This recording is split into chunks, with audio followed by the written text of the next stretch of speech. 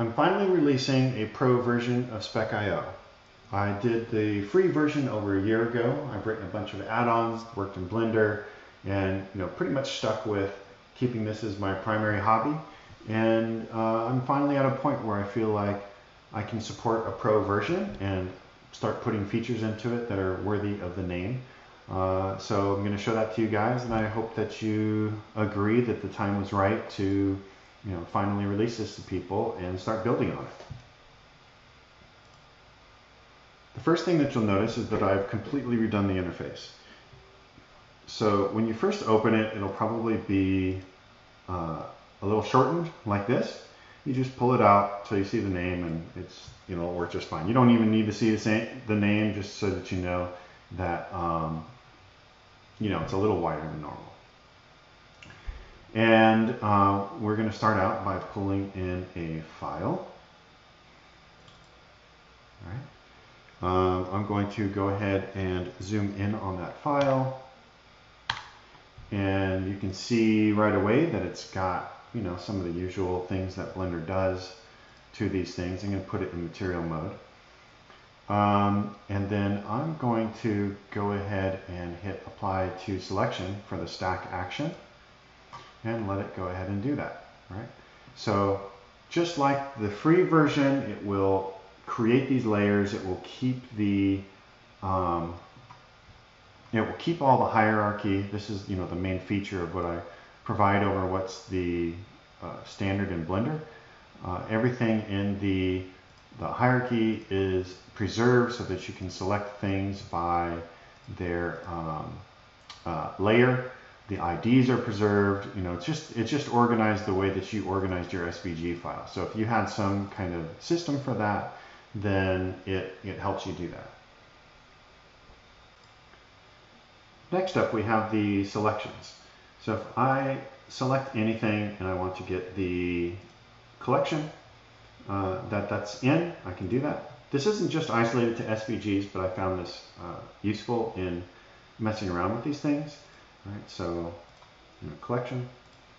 If I want to get something by the same material, I can quickly do that. And uh, someone did point out to me that this is available in regular Blender. I just didn't know how to do it.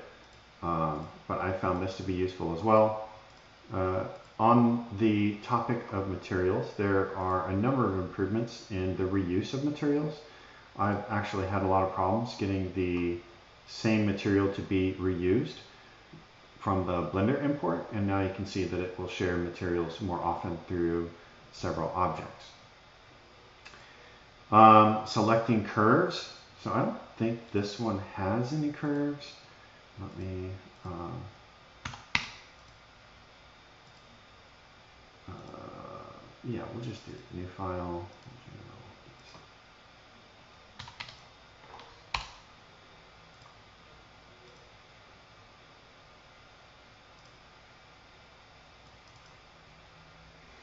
Now this has been a torture test of a file. Um, uh, browsers won't even render it correctly at all.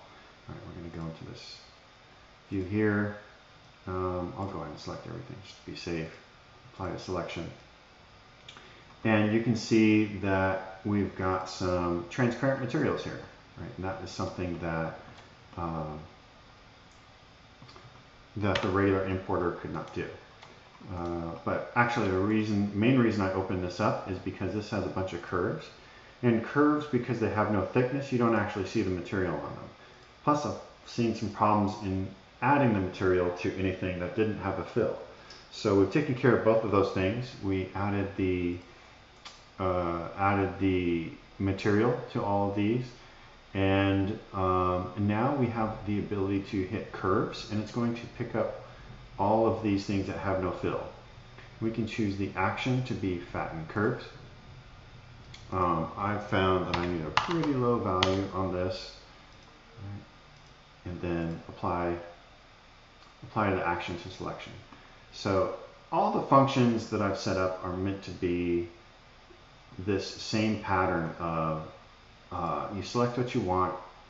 You either have these quick selections or big file selections, and then you pick an action and you apply it.